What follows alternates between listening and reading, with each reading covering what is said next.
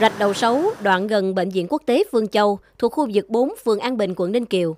Mặt nước không chỉ chứa đầy các loại rác thải, mà có cây um tùm, kín cả dòng chảy, khiến con rạch thành một mương nước tù động, gây ô nhiễm môi trường và mất mỹ quan. Giờ nó bít chặt luôn rồi, đây dài đẳng là cứng ngắt luôn rồi đó. Mình làm vườn, làm bông qua rồi đó thì giờ không có nước tưới. Giống như rồi mưa xuống mới có nước đó chứ dưới sông này đâu có nước.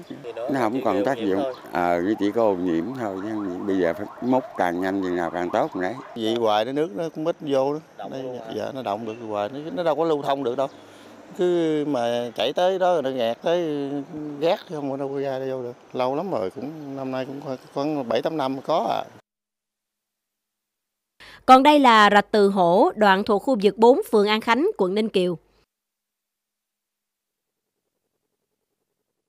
Hồi đó bà mới về thì còn tắm rửa nước còn trong ve hoặc giặt đồ được đó. Rồi bây giờ là gác đụng ai nấy bỏ hả đâu có nói người ta được mưa xuống thì nó sẽ hôi gác một phần nước cũng một phần nước bây giờ nó không thoát được nước nó không thoát được rồi gác nữa mình đã có nạo vét mấy lần rồi mà cũng do người dân cũng thiếu ý thức rồi mới thảy xuống mấy tình trạng như vậy thôi mà bây giờ do làm gống bây giờ nước nó không thoát được nữa. mình cũng trong cho ở phường ở xã đồ cũng làm cho nó thoáng sạch sẽ lại không chỉ hai theo ghi nhận còn nhiều đoạn rạch khác tại quận trung tâm thành phố đã và đang chịu chung tình cảnh tương tự.